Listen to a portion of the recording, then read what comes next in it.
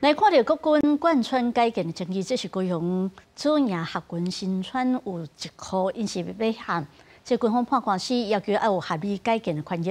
啊，不过反映这边已经完全国防部甲土地收等，现在进行强制拆除的作业，两边发生冲突。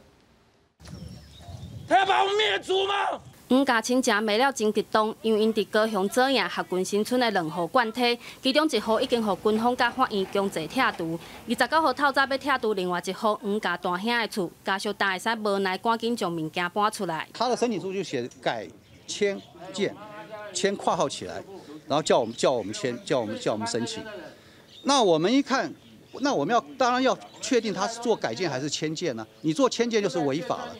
那我们不签这个都认证书，他就说我们是不同意改建户。国光关村改建实行已经真侪年啊，多数已经完成拆迁，但有少数管户因为对厝的唔甘，也是经济状况无好等原因，无想要搬。五家兄弟就是其中之一，因分。别甲军方拍官司，但法院判决稳准国防部将土地收回去。二兄厝二十八号就互通知拆除，看到家具顶物件互警方搬出来，厝主受刺激坐倒伫涂骹，经过一工的拆除作业，厝即卖已经变。做一堆脆角甲砖啊角。这些单位有都多半都愿意提出协助，只是这些眷户可能认为不需要。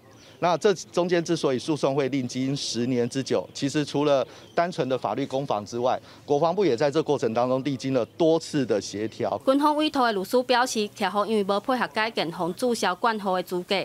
后续灌溉条例修法了后，要发补偿，因嘛无领，造成目前已经失去原有的权益。但黄家认为，因一家世代拢伫遮生活，为国家效力，即马煞互军方强拆，希望政府会使行予因合理的改建权益。记者陈环武、柯正准高雄报道。